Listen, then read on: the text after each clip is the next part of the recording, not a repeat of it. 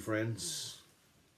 Happy Sabbath to all of you. We thank Abby and Annalie for singing the song Blessings for us this morning and the Fountain View Academy for leading us in the start of our worship service today. I want to say good morning to every one of you who's joining us live on YouTube. Well, so uh, I recorded this last night, but you're here on YouTube for this premiere. Thank you for joining us this morning. God bless each and every one of you. We thank him for another week. And we're alive and well today, and we continue to give him the praise, the glory, and the honor that is due unto his holy name. Um, I want to just say that God has a word for us this morning that He laid on my heart yesterday, as it were, and um, I feel the need to share it with us today, my brothers and sisters. So, welcome every one of you, all your names. Some of you are familiar, and if you're this is your first time here today, we thank you as well. Without further ado, we get into the spoken word today. Our topic is buried treasure. Buried treasure indeed. Let us pray. Father in heaven, I want to thank you for the opportunity once again to speak to your people. These are some serious times that we are living in, Lord. I want to remember families who are still suffering the effects of this terrible earthquake in Turkey and Syria. Thousands of lives lost. There are many other situations around the world that is causing loss of life. So I want to pray for grieving families this morning. Our hearts go out to them, dear Father, and the pain and agony that they're experiencing right now, from adults all the way through children perished.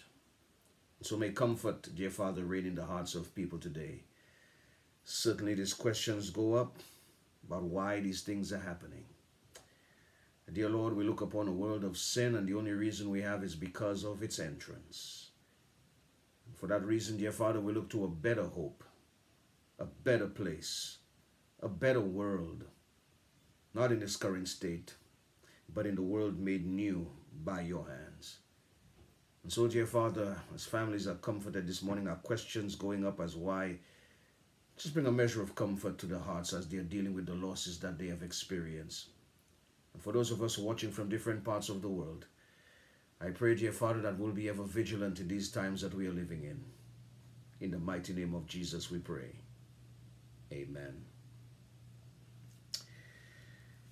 My brothers and sisters,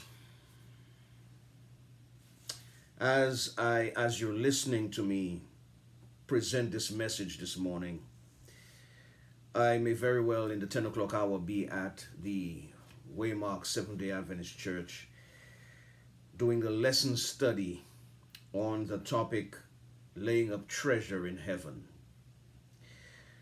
And as I was putting this together for the lesson study, which no doubt I may get 30 minutes if I'm lucky, um, the Lord laid this on my heart to present this in a sermon format this morning. And so I have entitled it Buried Treasure. I want to read two excerpts from the start of the lesson today. And the reason why the Lord had me present this message today, some of you may be watching who did do the lesson this week. And wherever your thoughts were directed, some of you may be watching even after you've gone to church and you've had the lesson done, and you may be taking time later on in the Sabbath day or later on in the week to watch this message. And uh, you may have some questions of your own. But my concerns when I read these two excerpts is that the many who will take these things and just teach them verbatim to God's people without a lack of with, with a great lack of understanding. And so people sometimes leave the lesson with the wrong message. And so as I see these things and the Lord lays it on my heart, I want to deal with it in an extended format today. The brethren I am dealing with right now in the 10 o'clock hour are getting an abbreviated format. But for you, I want you to really hear what God is saying to his people today. It's very important, brothers and sisters, laying up treasure in heaven. I want to read the first one. The first portion of the lesson said, Do you want a heart for the kingdom of God? If so, then put your money where it will reap eternal rewards. Put your time and your money and prayer into God's work. That's a problematic statement for me right off the bat. I want a heart for the kingdom. So the advice that I am getting is to put my money where it reaps eternal rewards. Hidden message. if I put my money in the church, I will have a heart for the kingdom of God? That's highly problematic, saints. And if you were taught that today, verbatim as it is said without correction, then I'm afraid you've been taught wrong. Let's go to the book of Matthew 6:19 for the next quotation. Matthew 6:19. The Bible reads as we know, lay not up for yourselves treasures upon earth where moth and rust doth corrupt and where thieves break through and steal then right after that scripture in the quarterly, in the lesson, the writer puts, in other words, I quote this. Third paragraph, third and second paragraph of the Sabbath school lesson on the Sabbath day portion. After Matthew 6:19, lay not up for yourselves treasures upon earth, where moth and rust doth corrupt, and where thieves break through and steal. Next, and I quote, in other words, show me what you spend your money on, and I will show you where your heart is. End quote. I quote this. The author said, in other words, to Matthew 6:19 Show me what you spend your money on and I will show you where your heart is. That statement here may apply to some people in some areas of life. But that scripture here is that that, that statement here is grossly misused when it pertains to Matthew 6:19 and then grossly misused when you're teaching a lesson entitled laying up treasure in heaven. Brothers and sisters, this morning I want to deal with treasure in heaven, aka buried treasure. Because we, after all, are laying treasure up right now. And many a poor soul, upon hearing and reading statements like this, and it being echoed by ministers and elders and teachers alike, will literally give money to an institution and believe by the act of giving that money, they are laying up treasure in heaven. So we're going to deal with what treasure in heaven is and what laying it up means for the believer from the Bible, not man's intellect or man's attempt to insert his motive and idea into the Word of God.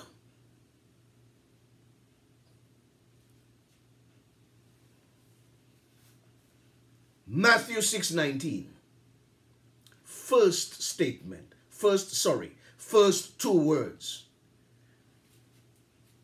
Lay not, first three words, lay not up. Lay up. Meaning of the word, built up, accumulated. All right? Lay not up do not accumulate treasures upon earth. The word treasures is precious things. Precious things. There are things that can be more precious than money. Treasures simply means precious things. Now, the Bible says, do not lay up, do not accumulate to yourself precious things upon earth. This has more, this is more than money. Where moth and rust corrupts, and where thieves break through and steal.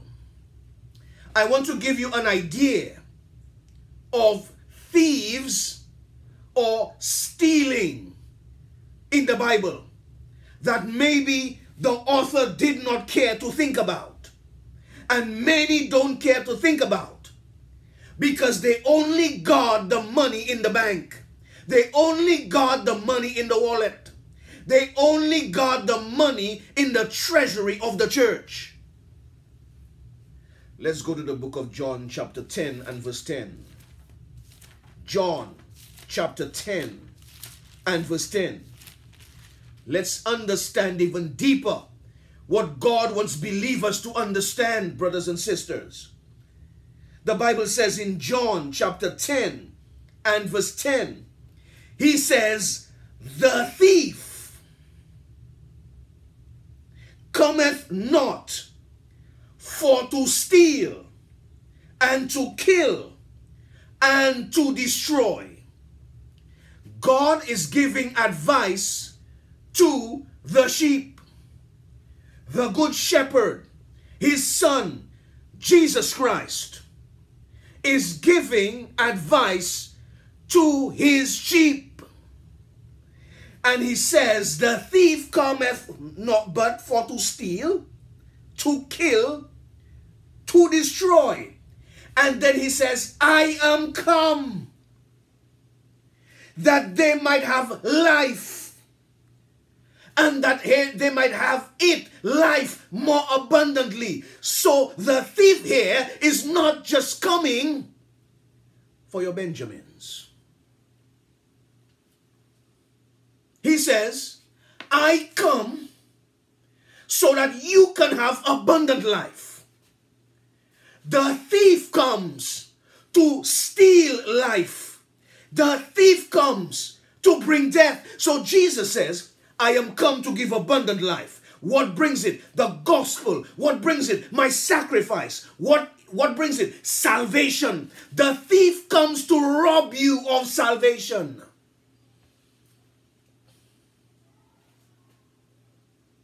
He says, listen.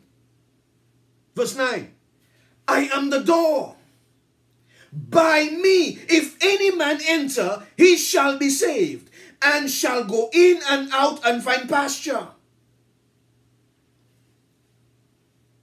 I am the door. I am the way of determination. What is a thief and who is my servant?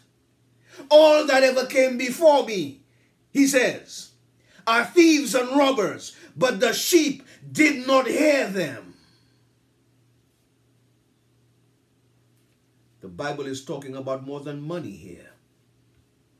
My brothers and sisters, there are things that you can put your and set your affection in here on this earth that the thief will steal that will cost you the greatest gift you have ever known that money itself cannot buy.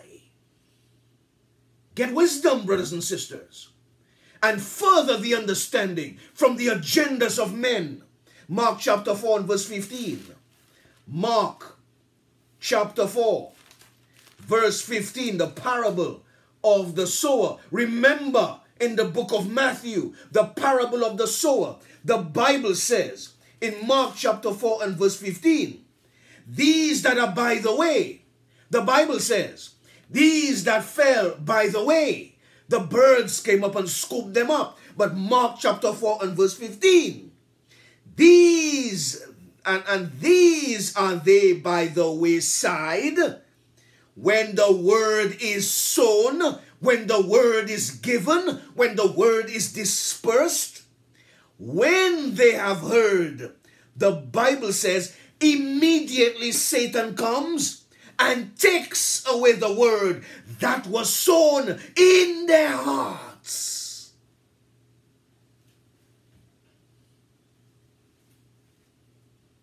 That's why God says, when God mentions His word, when God mentions His commandments, when God mentions His statutes, God says, keep it. And people are trying to do it. God says, keep it. Keep it ever in your remembrance. Keep it ever in your heart. Appreciate the information because he says the evil one has orchestrated situations all over the world that will rob you of that which you have heard, that will take your mind away from what you have heard, that will take your heart away from what you have heard, and it's more than just money. And I want you to ask yourself these questions, brothers and sisters. How do you lay treasures here on this earth? Whatever is more precious to you than God. It can be a person, it can be yourself, it can be your career, and yes, it can be money. But stop making money the end all be all. There are far greater things in this world that are taking the hearts and minds of men away from God. Even the calamities of our world are taking men's hearts away from God because they are angry.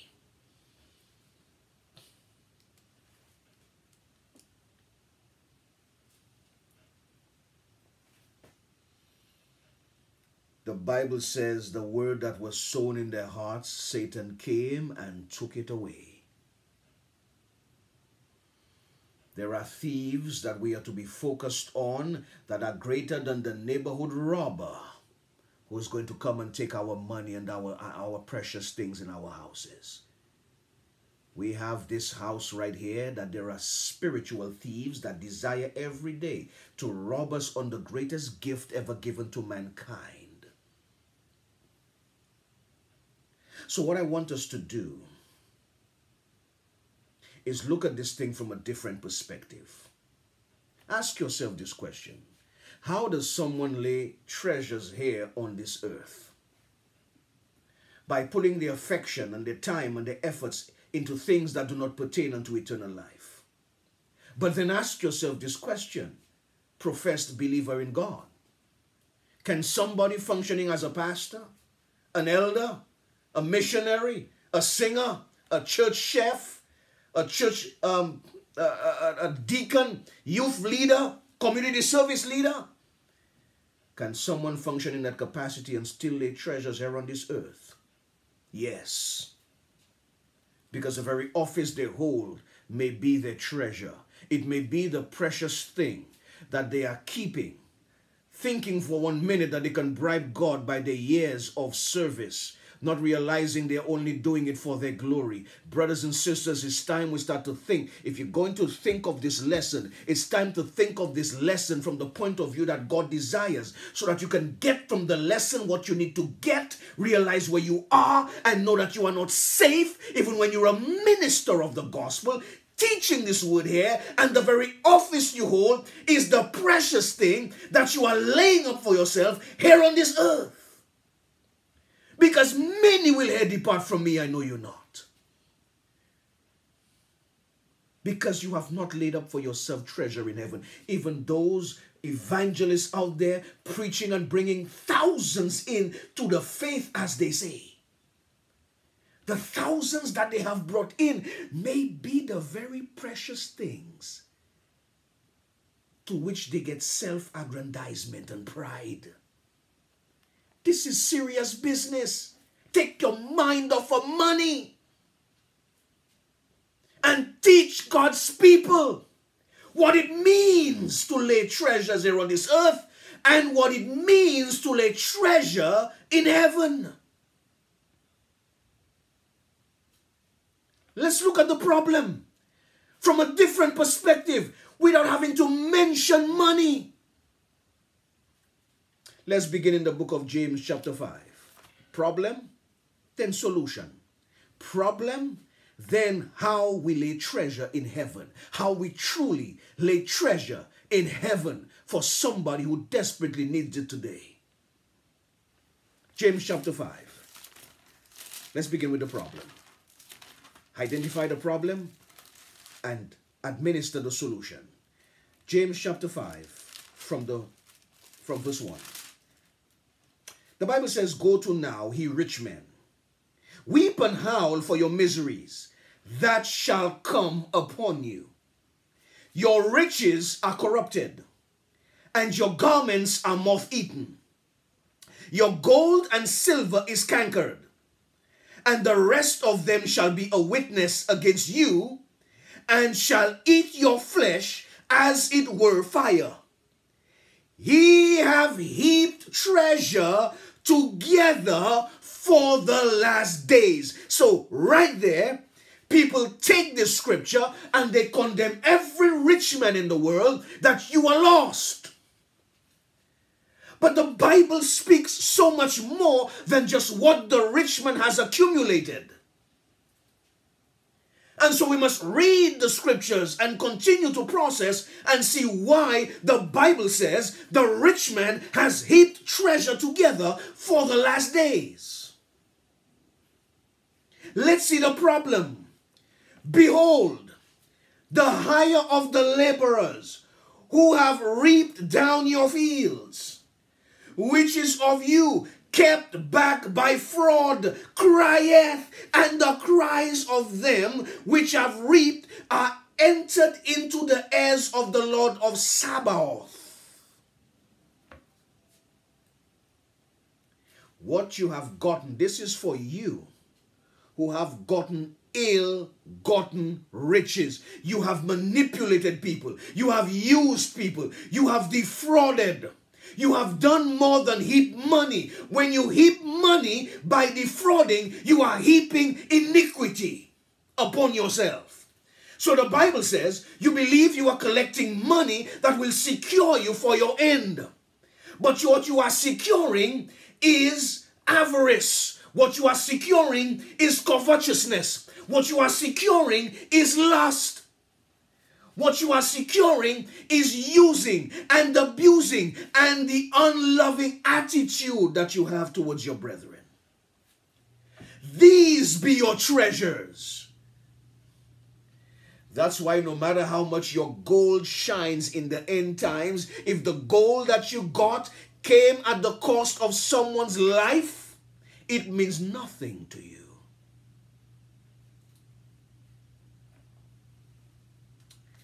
He have lived in pleasure in the earth and have been wanton.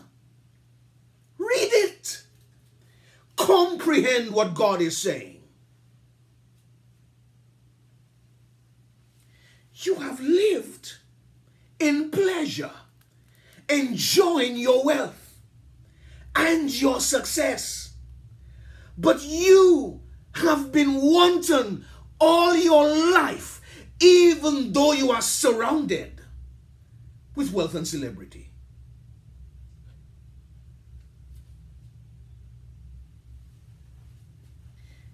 Ye have nourished your hearts as in a day of slaughter. He have condemned and killed the just, and he doth not resist you. Is the problem here money? Or is the problem the, the way and means by which the man or woman has gotten what they call wealth? And so when you're teaching people, brothers and sisters, teach people to look beyond everything that they have and look within as to where the problem really lies. Go to the book of Romans, chapter 2. The book of Romans, chapter 2, we're reading from verse 1. Romans, chapter 2, reading from verse 1.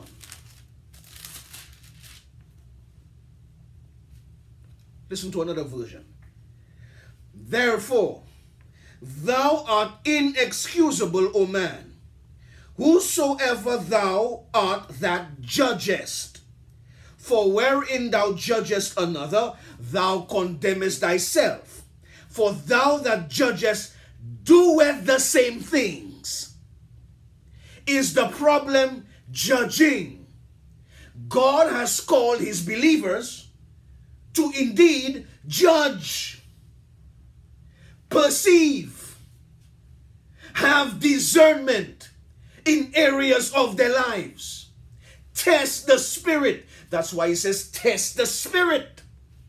He says the problem is not the judging, the problem is who is doing the judging. Don't say, don't take judgment to me. Don't ever judge. Judge righteous judgment. The Bible says, don't judge when you know the very thing you're judging for, the very person that you're judging is doing the same thing as you. You are self righteous. You are sitting on your throne as a judge. And you are heaping to yourself treasures on this earth. But we are sure that the judgment of God is according to truth against them which commit such things. By the very act of your improper judgment, you are heaping to yourself earthly things, but the God of heaven, who judges based on truth, will bring judgment against such person. And thinkest thou this, O man that judges them which do such things, and doest the same, that thou shalt escape the judgment of God? Do you really think you can impress God by your ability to clean his church from the people you call sinners, put them all out to pasture, while you are worse than them? Do you think you're heaping to yourself treasure in heaven? Lord, Lord, I kept the sanctity of your church by putting out all the sinners.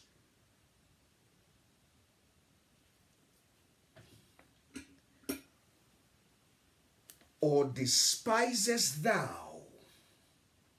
the riches of his goodness and forbearance? and long suffering, not knowing that the goodness of God leads you to repentance?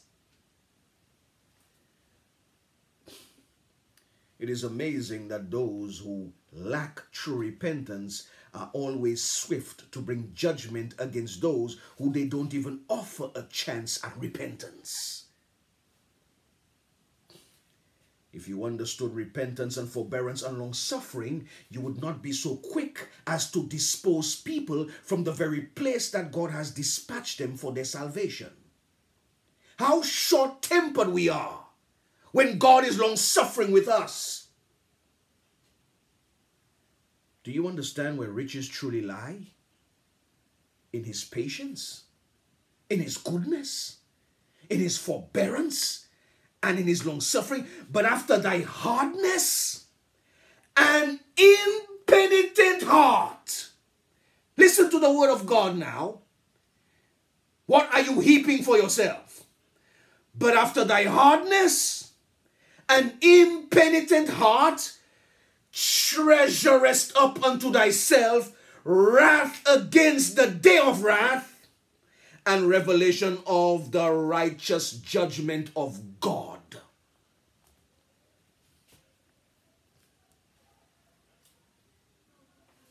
You're busy playing judge with improper judgment, and the Bible says all you are heaping for yourself is wrath against the day of wrath because there is one righteous judgment, and that comes from God who will render to every man according to his deeds.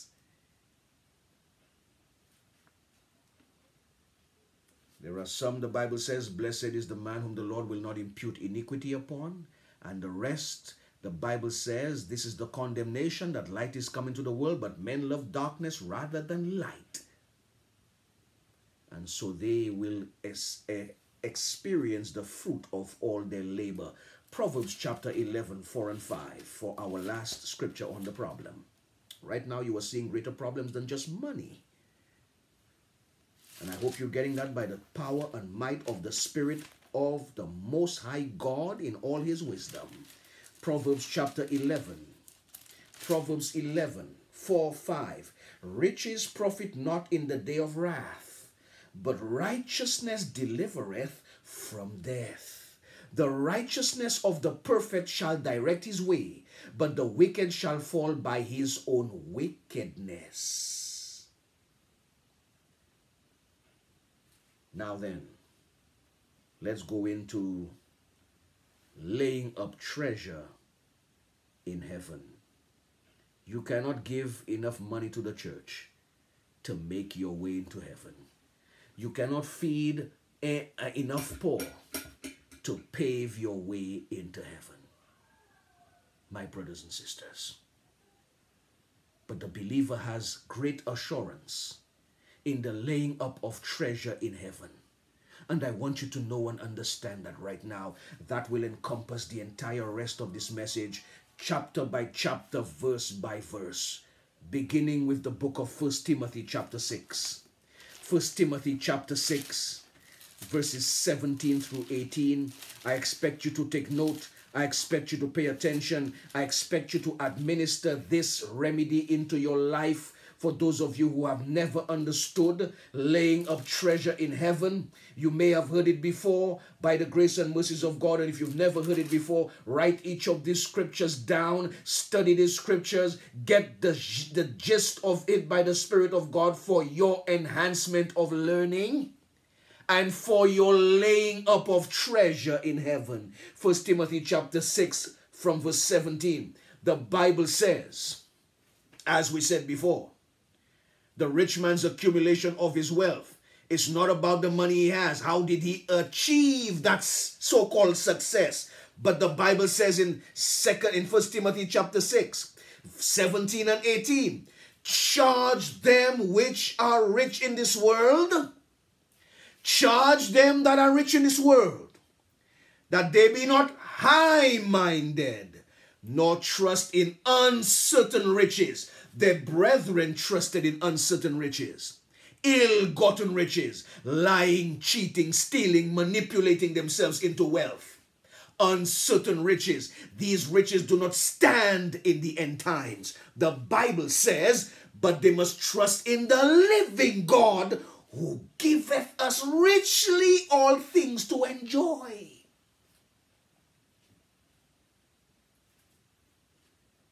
You are not living and enjoying your earthly riches. You are rich in this world, but you have such a relationship with God that it is not about your riches, it is about enjoying the living in the fullness of God. Then the Bible says this is what they do that they do good, that they be rich in good works, ready to distribute, willing to communicate. They don't live for their money. Their money is given to them by God. They live for God using their money for the benefit of others. And by doing that, the Bible says in verse 19, laying up in store for themselves a good foundation against the time to come, that they may lay hold on eternal life. So, yes. God has a path for the rich of this world. Yes, He does. If one is in submission of Him with what God has given him, what God has given him goes to the glory and honor to God by His distribution, by being rich in good works, willing to communicate.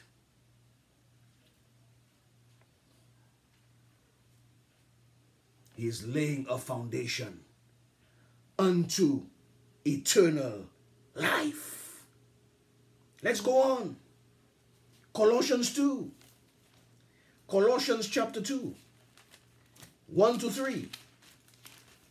Colossians chapter 2. Verses 1 to 3.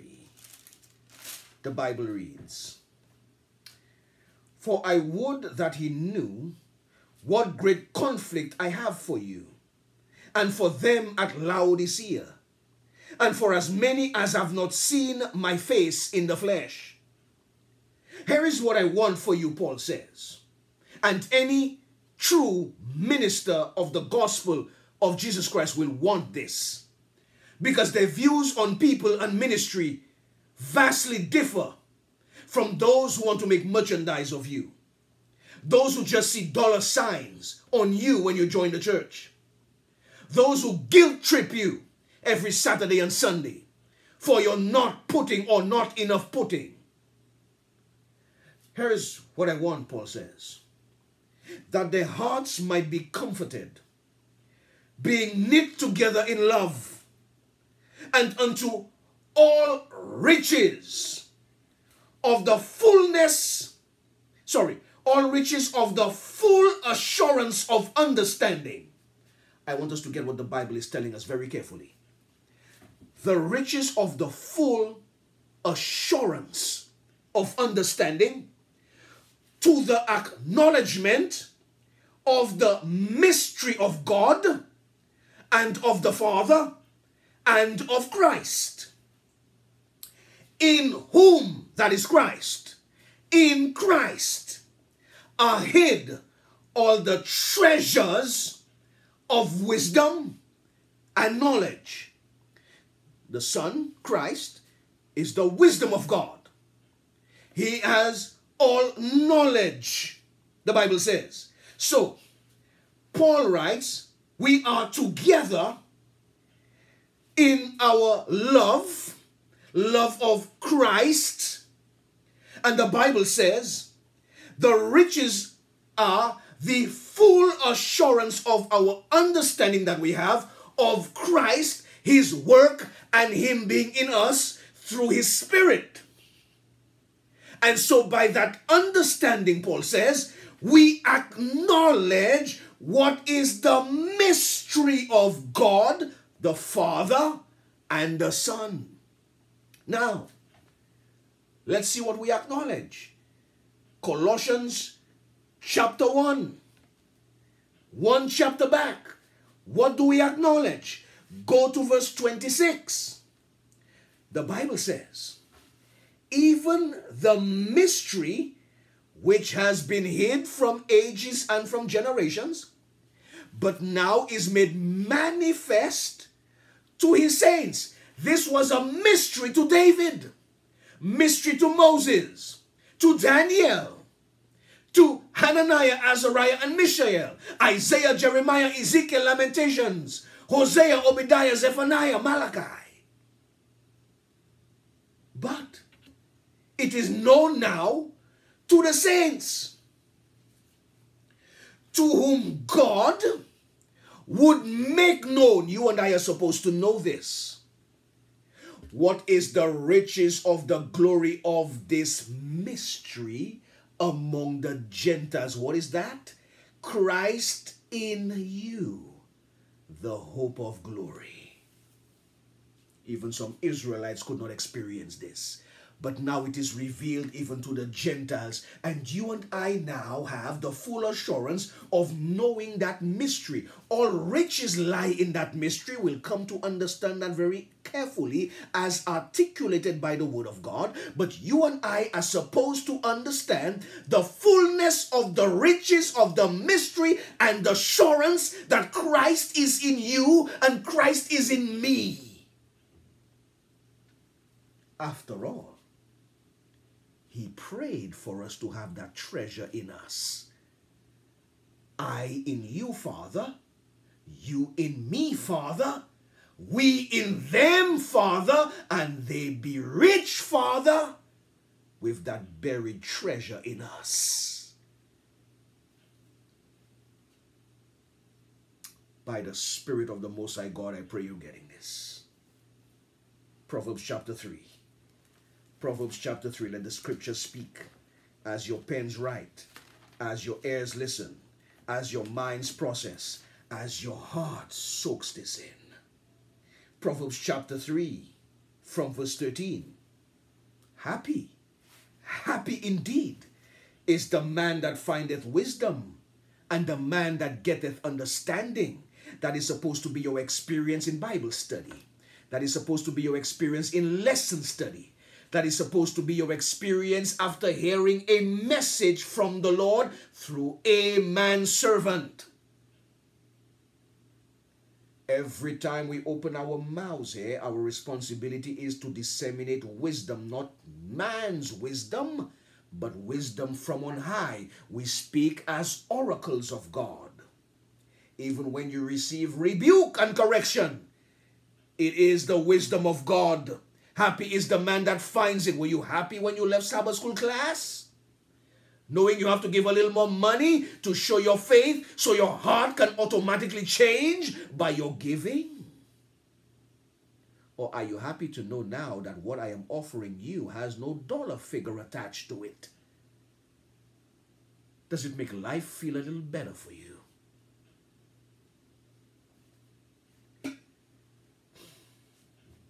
Happy is the man that findeth wisdom and the one that gets understanding. You see, when you get wisdom, you apply your heart to understanding. And that's how thy word have I hid in my heart that I might not sin against thee. This is not just passing knowledge.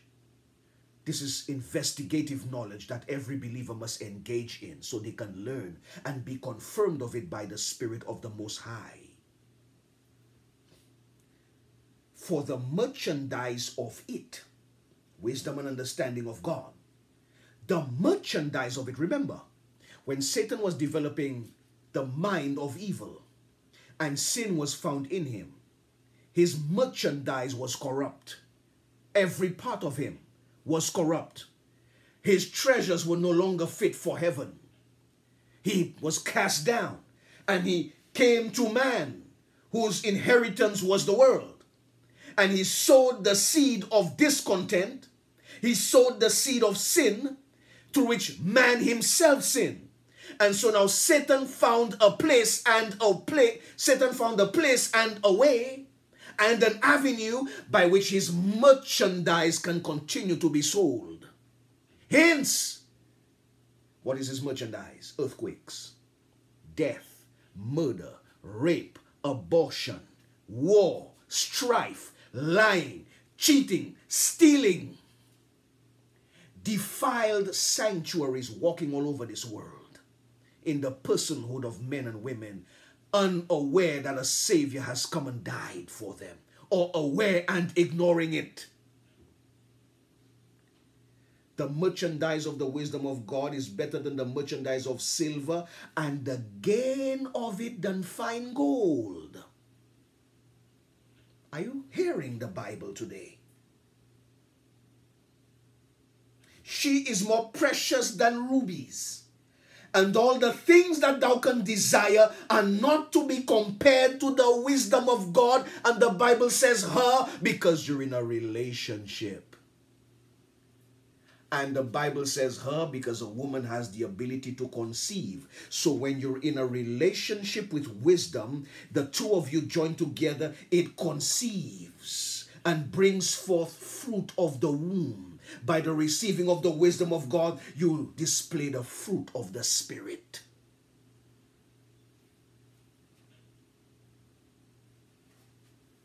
Are you getting the heaping up of this thing, brothers and sisters?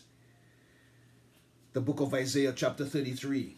The book of Isaiah 33, 5 and 6. Isaiah chapter 33, 5 and 6.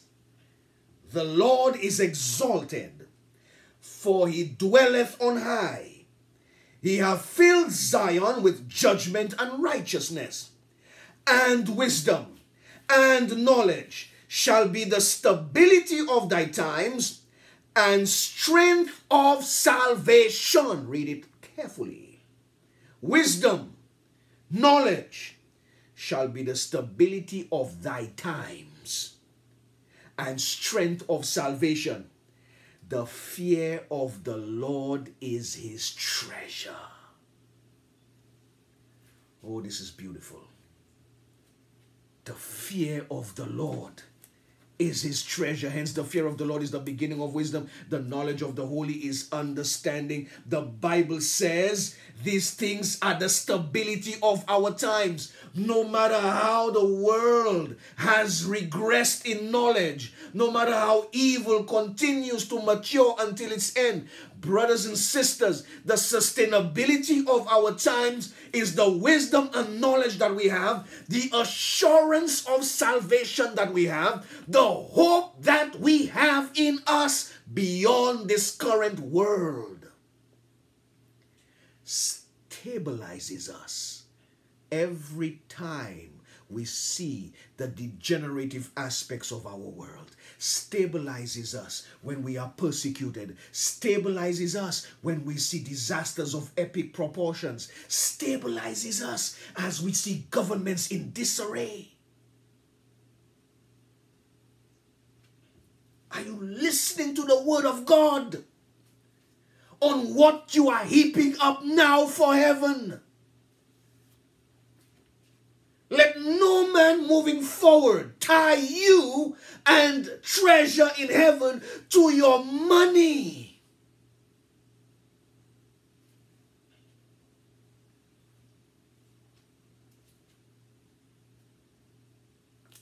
The book of Hebrews, chapter 11. The book of Hebrews 11 and verse 26.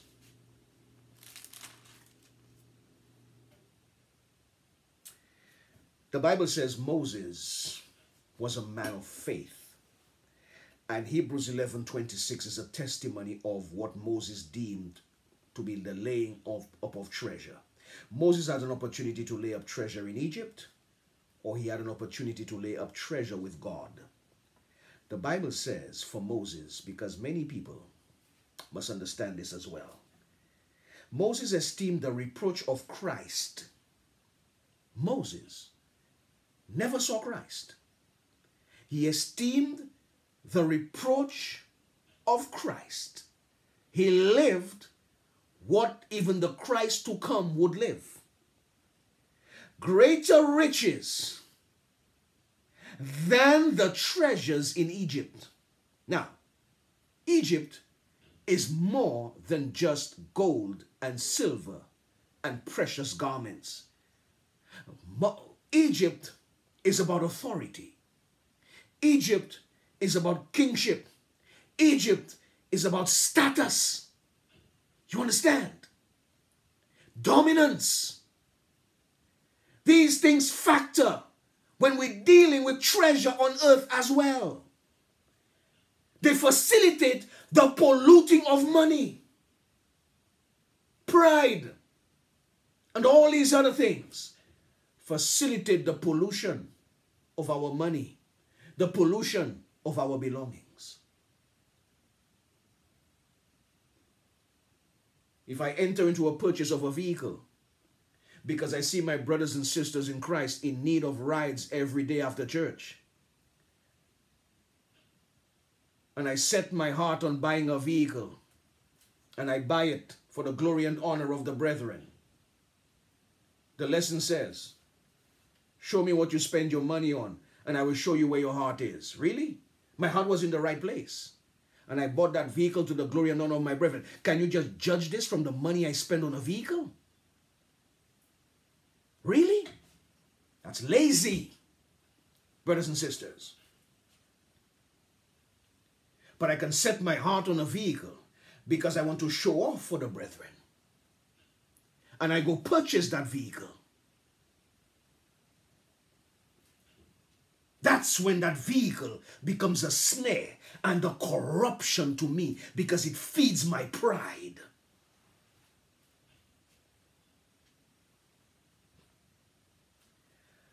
Moses esteemed the reproaches of Christ greater riches than the treasures in Egypt, for he had respect unto the recompense of the reward. when Christ came to this earth, Christ understood that he would die a very violent death. Christ understood and Christ mourned the forsaking the people had towards him and the cursings and the rebukings and the laughing at him. He was more sad for the people than himself. Father, forgive them, for they know not what they do. Yes, my body is bruised. Yes, my body is broken. Yes, the blood is dripping from every orifice that they have pierced. Yes, their spit is still on me. But they have no idea what they are doing. Moses took the reproach of Christ because he had respect unto the recompense of reward. You and I endure what we endure today, not because we are limited to that persecution, not because we are limited to that sadness, not because we are limited to this world. You and I esteem the reproach of Christ greater riches because we have great recomp- we have great respect unto the recompense of our reward. We know and believe where we are going. We know and believe that a place has been prepared for us. We know and believe that Jesus will come again. We know and believe that though we die, we live again. We know and believe that if we are alive at the coming of Christ, we shall be changed. We know and believe that there will be a new heaven and a new earth wherein dwelleth righteousness and it will never pass away. That is what we have respect towards. That's why we are able to endure in this time, for we know what's to come.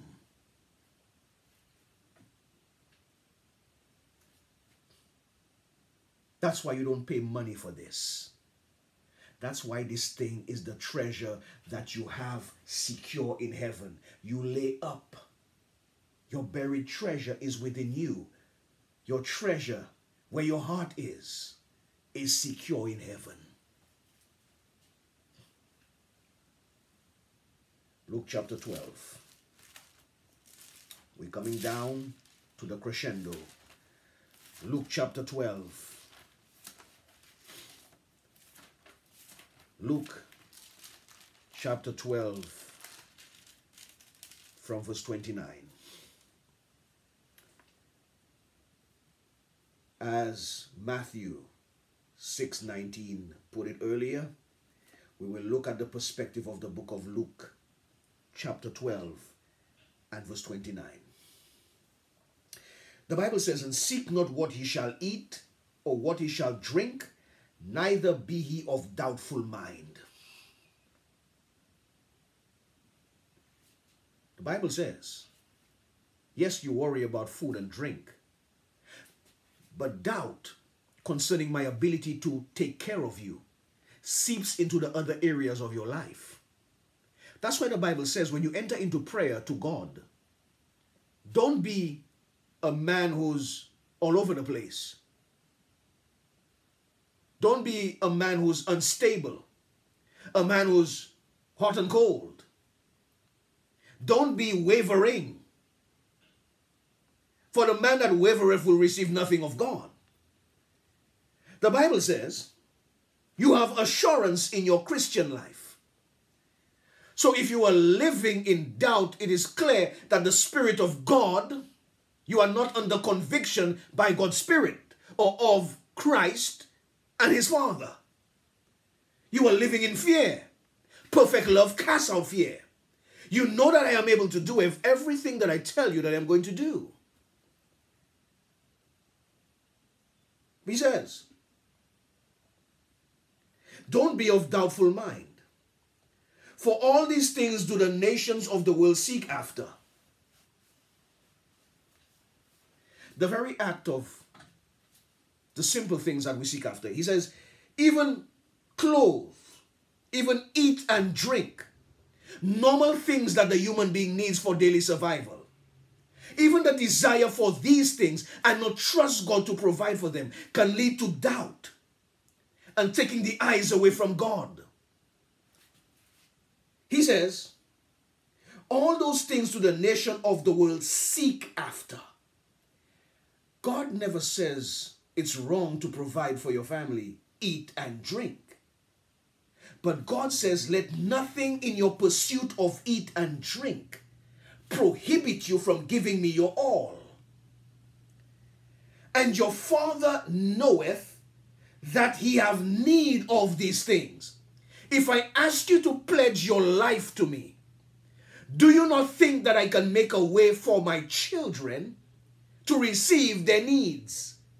He says, But rather, seek he the kingdom of God, and all these things shall be added unto you.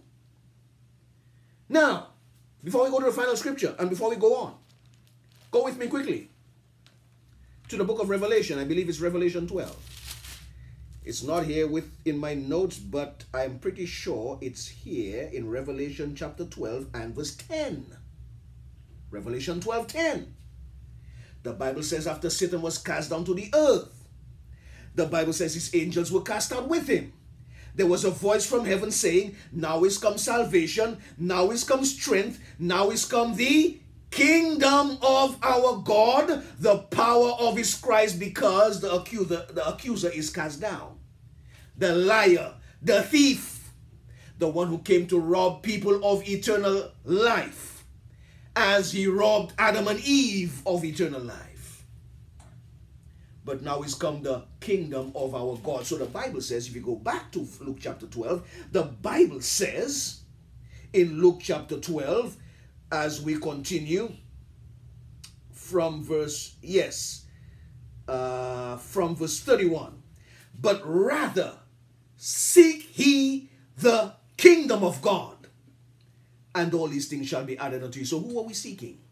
Who are we seeking? Who's the kingdom of our God? Christ, Yeshua, Son of the Most High God. Seek him. Fear not, little flock, for it is your Father's good pleasure to give you the kingdom. That's why Jesus says, In my Father's house are many mansions. I go and prepare this place for you. It is my Father's pleasure. No man cometh unto me but by, no man cometh unto God but by Jesus. God was in Christ, reconciling the world unto himself, not imputing their trespasses against them but restoring them. So the Bible says, it is the Father's good pleasure to give you the kingdom. Sell that ye have, give alms, provide yourselves. Bags which wax not old, a treasure in the heavens that faileth not where no thief approacheth, neither moth corrupts. For where your treasure is, there will your heart be also. The crescendo of it all Yeshua the Christ, Jesus Christ, is at the right hand of the Most High Yah, his Father, where he is the kingdom of God, where He is, where your precious thing is, the Son of God. There will your heart be also, because He's in you, and you are in Him, and you, my brothers and sisters, and I are enjoying this place on earth as simply strangers and pilgrims, but our inheritance is secure in heaven. Our treasure is laid up in heaven if we're in Christ. No thief can approach him. He made a show of them openly.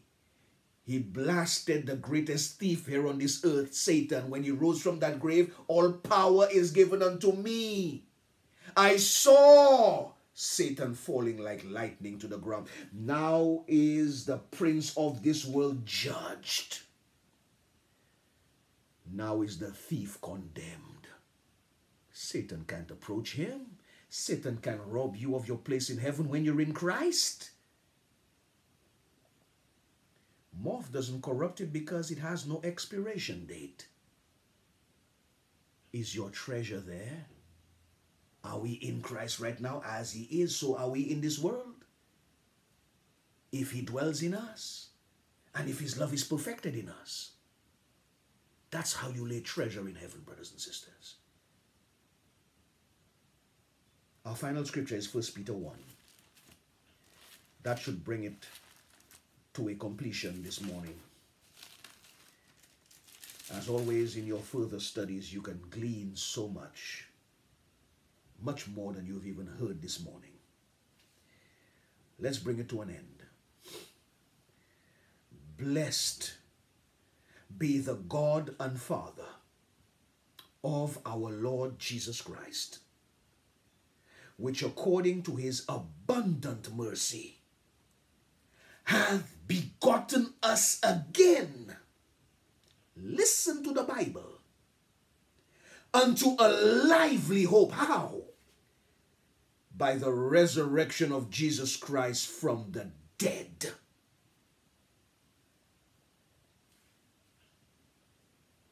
Born again, not after the will of man, but of God, not of corruptible seed but incorruptible, not of silver and gold, but the precious blood of Jesus Christ,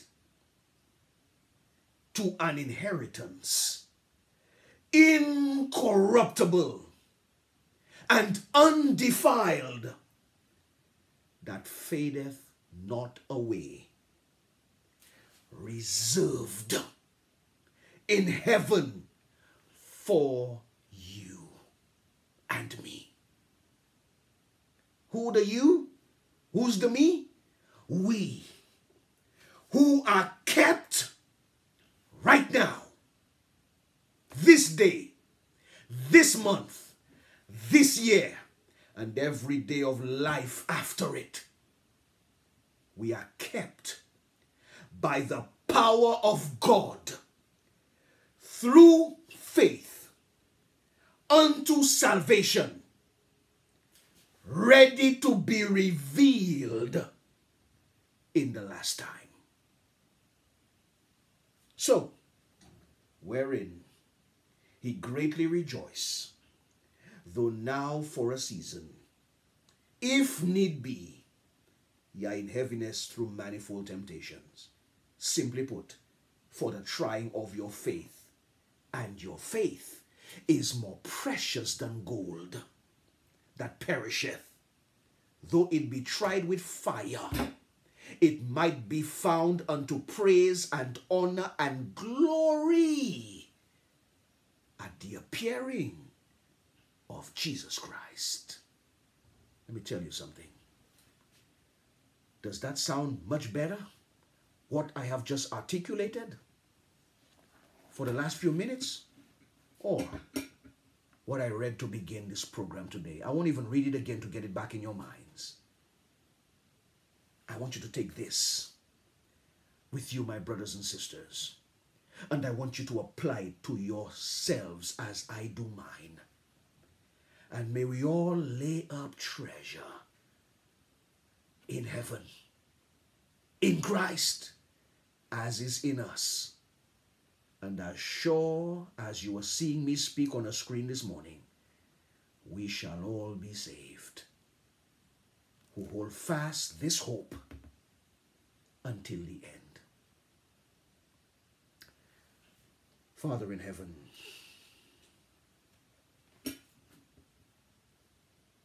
there is so much that is being taught today. However, you have not left this world ignorant of your truth. Though many are making a mess of the teaching of the word, though many are not rightly dividing the word of truth, you still have your servants out there who are doing it all over the world. Truth never fails. Today I pray for those within the sound of my voice live, and I pray for those who are watching this program after it is live. You have led them to this video, and you have led this video to them for the very reason of instructing them. And so today I pray that they have clearly understood your plan for them in the laying up of treasure in heaven. Many has been so taught they have been trying to give to make it there. Let today be the day where that bondage chain be broken from their lives. Heavenly Father, I pray today that your people has received your word. I pray today that you will confirm within them that it is the word of truth. And I pray that once they have confirmed that it is the word of truth, their responsibility now is to put it into practice. Be in Christ, as Christ is in them through the baptism of his Spirit. And I pray, dear Father, that all their learning will be done because they have an unction from the Holy One. And they would need that no man teach them but they will grow from babes to adulthood, mature believers in the faith, stand firm in the faith, be perfected in your love, ready to be revealed at the last time, the great hope of salvation. I thank you, Lord, for the ability to speak it this morning, for you have showed it to me, and I have the responsibility as well to live it. Help us all. Wherever we are weak, dispel that weakness from our lives in the mighty name of your Son, Jesus. And I pray that we will walk in the light as he is in the light and thus have fellowship one with another. And the blood of Jesus Christ, which cleanses us from all sin, will continue to perfect us. I give you all the praise.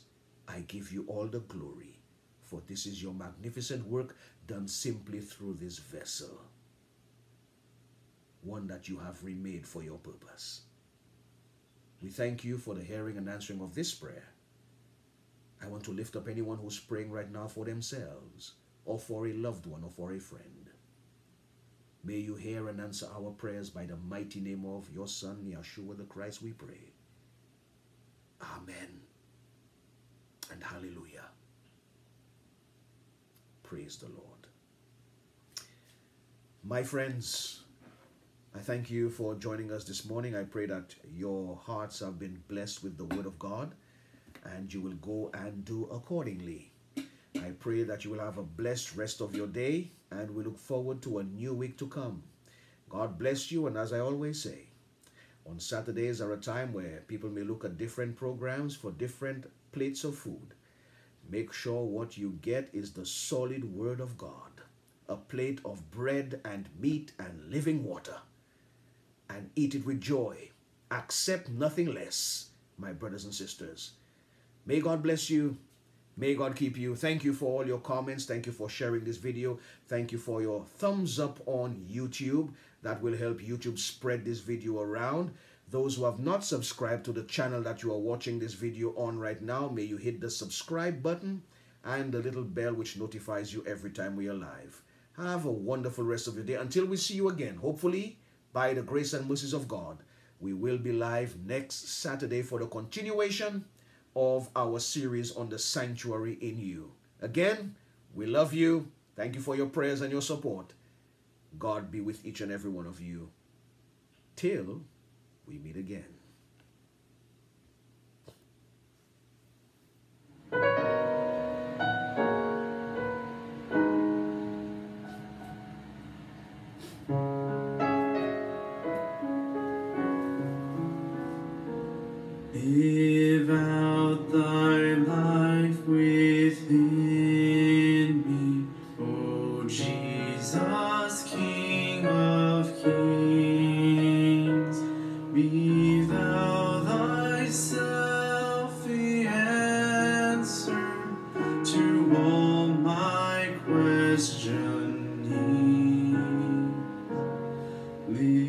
Live